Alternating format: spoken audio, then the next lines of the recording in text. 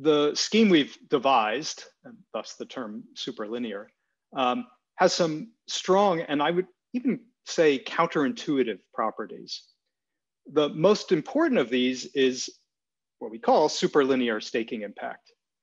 Specifically, we believe we have a practical design that gets us quadratic staking impact. Let, let me explain what I mean by this.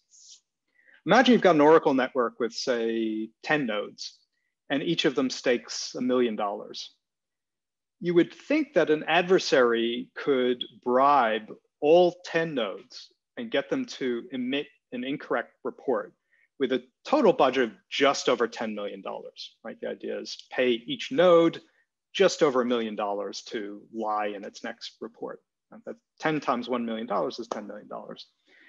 But in our staking mechanism design, an adversary would actually instead need 100 million. That's, as I said, we get quadratic staking impact. That's 10 squared times 1 million. And with a bigger network, it gets even better.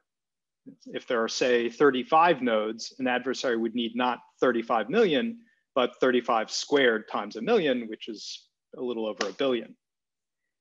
As I said, this is pretty counterintuitive. It's a result that surprised me, I think surprised all of us, and it has important implications.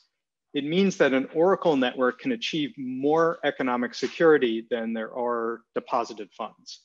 In other words, you get real bang for your buck in terms of economic security. It also means that the bigger an Oracle network gets, the more the cost of economic security drops. There's a strong economy of scale.